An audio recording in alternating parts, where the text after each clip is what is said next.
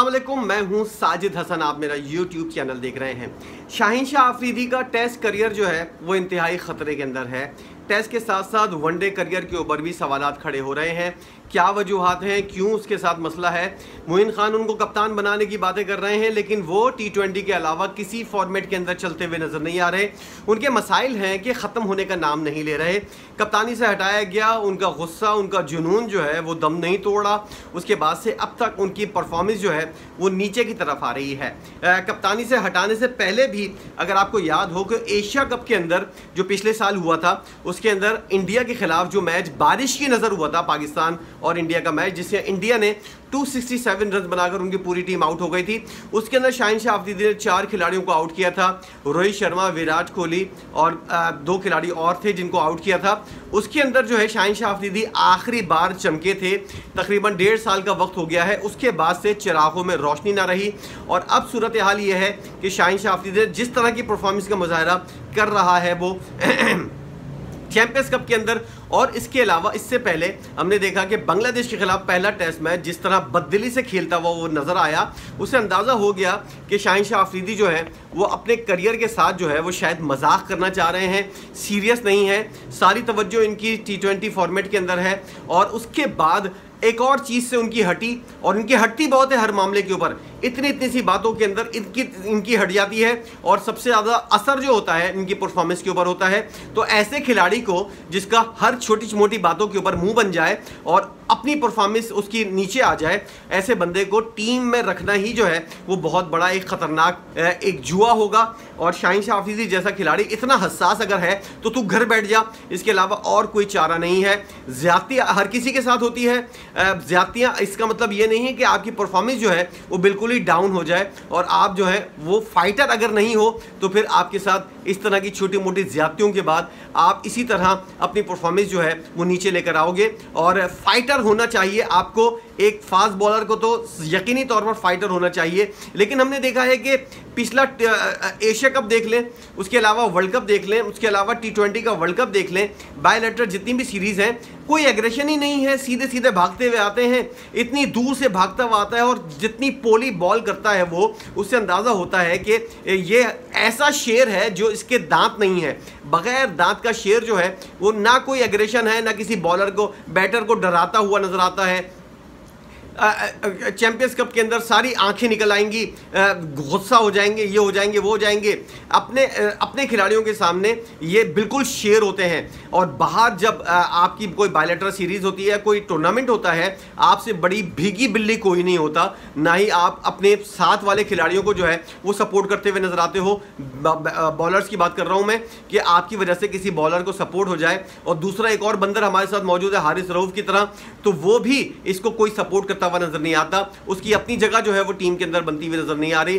तो इस तरह शाहिन शाह अफरीदी का टेस्ट करियर जो है, अब पीसीबी के अंदर ये वाली बातें शायद बहुत ज़्यादा तवील हो रही हैं। ये बहस तवील हो रही है कि इंग्लैंड के ख़िलाफ़ जो सीरीज़ है, उसके अंदर शाहिन शाह आफरीदी को किसी भी तरह जो है वो जेर गौर नहीं लाया जाए स्कॉट के अंदर नहीं रखा जाए, क्योंकि वनडे के अंदर इनसे बॉलिंग सही नहीं हो रही। वनडे फॉर्मेट के अंदर इनकी जो फिटनेस के मसाइल हैं और जिस तरह ये भागते हुए आते हैं, जिस तरह की बॉलिंग ये कर रहे हैं, उससे साफ़ अंदाज़ा हो रहा है कि ना इससे कप्तानी हो रही है, ना इससे बॉलिंग हो रही है। और आखिरी जो बांग्लादेश के ख़िलाफ़ मैच था, उसके अंदर इसने जिस तरह ख़राब परफॉर्मेंस का मुजाहरा किया, आपकी फिटनेस का मसला है तो आपको आपका मुँह बना हुआ होता है। आपके साथ कोई ज्यादती हो जाए, तब कोई मुँह बना हुआ होता है। और अब हालिया जो मुँह बना हुआ है, वो ये है कि इनको कैनेडा लीग के अंदर एनओसी नहीं दिया गया था, जिसकी वजह से बेवा वाला मुँह जो है बनाकर एक कोने के अंदर, इद्दत के अंदर बैठे हुए नज़र आते थे। और पूरा वर्ल्ड कप इन्होंने ऐसी गुजारा था टी ट्वेंटी का, अपना मुँह लेकर, थोपड़ा लेकर साइड में अंदर बैठे हुए थे और न सिर्फ़ खुद बैठे हुए थे, बल्कि दूसरों को भी जमा कर रहे थे कि मेरे साथ आके बैठो, कोई फिटनेस के ऊपर ध्यान नहीं दो, कोई प्रैक्टिस नहीं करो डिवाइड करने के लिए टीम को। इस तरह की चीज़ें अगर होंगी तो कोई भी आपका साथ नहीं देगा। आप अगर विकटें नहीं लोगे तो आपकी कोई परफॉर्मेंस को कोई जेर गौर नहीं लाएगा। और अगर आप सिर्फ़ दूर से भागते हुए आओगे और पॉलिसी 130 132 की बॉल करोगे तो ना कोई बैटर आपसे डरेगा, ना ही कोई आपके लिए आवाज़ उठाएगा और ना ही कोई आपकी कप्तानी के लिए। एक कप्तानी क्या गई? उनका मुँह ऐसा बना कि उन्होंने डेढ़ साल से कोई ढंग की विकेट नहीं ली, ना ही कोई परफॉर्मेंस दी, जिसकी वजह से आज ये हाल है कि पाकिस्तानी टीम भी नीचे जा रही है। एक अखरोट जैसे दिमाग वाले शख्स की वजह से और उसने पूरी टीम की बैट बॉलिंग लाइन को जो है, वो बर्बाद करने का कोई कोई कसर नहीं और टीम का माहौल भी इसने ख़राब किया। अब सही तौर पर ये वाली बात पीसीबी के अंदर नोटिस की जा रही है कि ऐसे बंदे जिसके हर मामले के अंदर, जिसके अंदर इसका हर चीज़ के अंदर मुँह बना हुआ होता है, हर छोटी छोटी बात के ऊपर सुसर की अलग इनकी पंचायतें नहीं ख़त्म हो रही, वो इनको आगे लेकर आने की कोशिश कर रहे हैं, वो इनको कप्तान बनवाने की कोशिश कर रहे हैं, मोइन खान से वो बयान दिलवा रहे हैं, यूनुस खान से वो बयान दिलवा रहे हैं, जितने भी इनके दोस्त यार हैं, उनसे बयान दिलवा रहे हैं कि शाहिन शाह को ज़रा सपोर्ट करो। कारकर्दगी, ज़ीरो बटा सन्नाटा। किसी किस्म की कोई कारकर्दगी नहीं है। स्पीड मुसलसल कम हो रही है। 24-25 साल इनकी एज है, लेकिन लग रहा है जैसे कोई 35 साल से ज़्यादा का कोई बॉलर जो है, वो आकर बॉल कर रहा है। कोई बैटर दुनिया भर के तो छोड़ें। कोई अपने इस टूर्नामेंट के अंदर जो चैंपियंस कप हो रहा है, इसमें भी कोई इनसे डरने को तैयार नहीं है। भागता हुआ आता है, वही मैंने मिसाल दी कि बगैर दांत का शेर जो है, वो गरजता बरसता नज़र आता है। बेकार परफॉर्मेंस उनकी कप्तानी के अंदर, जिस तरह ये मैच हारे हैं। किसी किस्म का कोई स्पार्क करता हुआ नज़र नहीं आ रहा है।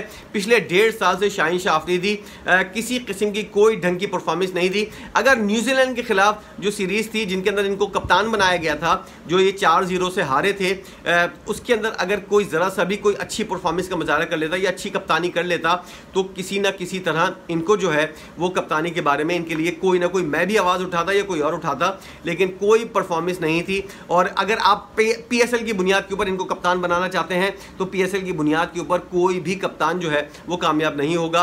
और इसलिए पीएसएल की परफॉर्मेंस जो है, वो किसी तरह नोटि नोटिसेबल नहीं हो सकती, क्योंकि पीएसएल के अंदर जिस तरह के माठे खिलाड़ी और जिस तरह के रेलू कट्टे खेल रहे होते हैं, इसके अंदर अगर आपकी टीम अच्छी है और वो चल रही है, उसके अंदर दो तीन खिलाड़ी ऐसे हैं जो मैच विनर हैं। आपके अलावा आप तो मैच विनर अब रहे नहीं, आपके अलावा दो तीन लोग जो हैं, जिन्होंने लगातार आपको चैंपियंस पीएसएल के अंदर ट्रॉफी जितवा कर दी, उसके अंदर शाहिन शाह अफरीदी की कप्तानी का कोई हाथ नहीं था, ना ही किसी किस्म की कोई इनकी बॉलिंग का कोई हाथ था। इनके साथ जो खिलाड़ी थे, उन्होंने इनको चैंपियंस ट्रॉफी चैंपियंस ये जो पीएसएल थी, ये ट्रॉफी दो बार लगातार जितवा कर दी और उसके अंदर जो है, दीगर लोगों का अहम किरदार था। शाहिन शाह अफरीदी का कोई किरदार नहीं था, जिसकी वजह से इनको कप्तान बनाया गया था कि ये मुसलसल चैंपियंस पीएसएल जो है, ये जीत चुके हैं, इसलिए इनको कप्तान बना दिया जाए। और आखिर में क्या हुआ? वही हुआ, इनके कोई परफॉर्मेंस सामने नहीं आई, ना ही इनकी कप्तानी के अंदर कोई ऐसी चीज़ थी जिससे लोग स्पार्क करते, लोग इससे अट्रैक्ट होते। और इस वजह से कोई भी इनका साथ देने को तैयार नहीं है। आज कोई भी, मोइन खान जैसे लोग और इस तरह के लोग जो हैं, वो शाहिद खान आफरीदी के कहने के ऊपर जो है, वो बयान दे देते हैं कि शाहिन शाह आफरीदी को कप्तान बनाया जाए। वनडे फॉर्मेट और टेस्ट फॉर्मेट के अंदर इस शख्स से बॉलिंग नहीं हो रही।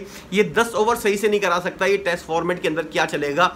इसकी परफॉर्मेंस अगर आपको देखनी है, ये चैंपियंस कप देख लें, जो एक मैच खेला है, उसके अंदर आप इनकी परफॉर्मेंस देख लें, इनके बॉलिंग का स्टाइल देख लें, पूरे दस ओवर इनके देख लें। शायद दस ओवर किए थे, इसने नहीं किए थे। बाबर आज़म को आउट करना, बाबर आज़म अपनी गलती से आउट हुआ था, गलत शॉट खेलकर आउट हुआ था, वरना ये विकेट भी इनके हिस्से में नहीं आती। और जिस तरह एग्रेशन दिखाते हैं, जिस तरह वो कर रहे होते हैं, ये सारी चीज़ें जो है सिर्फ़ डोमेस्टिक टूर्नामेंट के अंदर सामने आती हैं। बाहर जाकर इनसे किसी किस्म का ना कोई डरता है खिलाड़ी, ना इनसे एग्रेशन होता है, ना इनसे किसी किस्म का कोई बॉलर को डराया जाता है। बांग्लादेश के खिलाफ पूरी सीरीज़ निकल गई। इनका एग्रेशन जो है वो वापस नहीं आ सका। किसी बॉलर को इन्होंने बाउंसर मारकर घूर कर आँखें देखा कर कोई भरम कराने की कोशिश नहीं की। सीधे सीधे गए। हा, हाथ बाँध कर खड़े हुए हैं और ऐसा लग रहा है जैसे पत्नी कौन सा बिला एक एवरेज बॉलर भी अच्छा होगा। मोहम्मद अली ने इससे ज़्यादा अच्छी बॉलिंग की थी। इनके जैसा कोई बगैर एग्रेशन का बॉलर जो है, वो मैंने आज तक नहीं देखा। एक ज़माने में इन्होंने जब देखा था, जब इनको कोई भी दुनिया का दुनिया की टीमें जो है, इनको नहीं देख पाई थी, इनकी बॉलिंग के अंदर क्या क्या चीज़ें थी, वो नहीं देख पाए थे। जब इन्होंने कुछ आकर स्पार किया और अपनी परफॉर्मेंस से लोगों को डराया दो तीन साल तक इन्होंने दुनिया को जो है, वो थोड़ा सा डरा कर रखा। उसके बाद हर किसी को पता चल गया, इनके पल्ले क्या है, इनकी जेब के अंदर कितने पैसे हैं, इनकी बॉलिंग के अंदर कितनी वैरायटी है दो तीन वैरायटियाँ हैं, और वो भी अगर ना हो, अगर शुरू के अंदर विकेट ना मिले, तब वो वेराइटियाँ भी इनकी जो है, वो ख़त्म हो जाती हैं, और उसके बाद इनको नहीं पता होता कि किस तरह बॉलिंग करनी है। उसके बाद वो घुटने से सोचना शुरू कर देते हैं, और जैसे कि मैथ्यू वेड ने सेमीफाइनल के अंदर इनका कबाड़ा किया था, उससे अंदाज़ा हो गया था कि इनका जब दिमाग ख़राब होता है तो इनको ये नहीं पता होता कि मुझे बॉल कहाँ करनी है, और जिस तरह उसने लगातार छक्के चौके मारकर पाकिस्तान से मैच हाथ से निकाला था, उसके अंदर मेन किरदार जो था वो शाहिन शाह आफरीदी का था और उसके बाद जो है उनकी कारकर्दगी के अंदर मुसलसल गिरावट आ रही है। अगर आप पाकिस्तान के लिए अच्छा नहीं करोगे और आपको इतनी ज़्यादा लोगों की बदुआएँ लगेंगी, शाहिन शाह आफरीदी ने जिस तरह टी ट्वेंटी वर्ल्ड कप के अंदर परफॉर्मेंस का मुजाहरा किया, पचास ओवर्स के वर्ल्ड कप के अंदर जिस तरह की परफॉर्मेंस का मुजाहरा किया, आपको हीरो बनने का एक मौका मिला था। आपने इंडिया के अंदर और उसके अलावा अमेरिका और वेस्ट इंडीज़ के अंदर जो टी ट्वेंटी वर्ल्ड कप हुआ था, उसके अंदर दोनों मौाक़े आपने इस तरह ज़ाया किए कि आपको लग रहा था कि आप अगर जानबूझकर परफॉर्मेंस नहीं दोगे तो आप कप्तान बन जाओगे। अल्लाह की लाठी बेआवाज़ है। आपके ख़िलाफ़ सारी चीज़ें गई और हर चीज़ सामने आ गई कि कौन सही तरीके से खेल रहा था, कौन सही तरीके से नहीं खेल रहा था। तो टी ट्वेंटी वर्ल्ड कप ये जो अभी गुजरा है और पचास ओवर्स का जो वर्ल्ड कप जो इंडिया के अंदर हुआ था, इसके अंदर मुकम्मल मौका मिला था शाहिन शाह अफरीदी को। जसप्रीत बुमराह जो है, वो विकटों की लाइनें लगाया हुआ है नहीं विकटें आ रही तो एक जाहिल हमारा बॉलर जो है, हारिस रऊफ और शाहिन शाह अफरीदी इन दोनों ने नेगेटिव रिकॉर्ड कायम किया और जब दुनिया के बॉलर जो हैं जसप्रीत बुमराह और दीगर बॉलर जो हैं, विकटों की लाइनें लगाए हुए थे, उसके अंदर इन लोगों से किसी किस्म की बॉलिंग नहीं हो रही थी। लग रहा था इनके हाथों में पोलियो हो गया है, इनके, इनकी समझ जो है, वो इनकी याददाश्त चली गई है कि किस तरह बॉलिंग करनी है, किस तरह आउट करना है। बस यही था, बाबर आज़म को पीछे करना है और किसी तरह कप्तानी हासिल करनी है। डिवाइड एंड रूल पीसीबी कर रहा था, जका शरफ इनको भड़का चुका था। उसके बाद इनके हाथ से जो चीज़ें निकली हैं, उसके बाद अब तक इनके काबू में नहीं आ रही। अब इनकी जगह जो है टी ट्वेंटी और test format one day format और टेस्ट फॉर्मेट के अंदर अब इनकी जगह जो है, वो बनती हुई नज़र नहीं आ रही। इसलिए अब इनको जो है, वो इंग्लैंड के खिलाफ सीरीज़ से ड्रॉप करने की बातें हो रही हैं। इस हवाले से आपकी अपनी क्या राय है, ज़रूर बताइएगा। वीडियो देखने का बहुत शुक्रिया।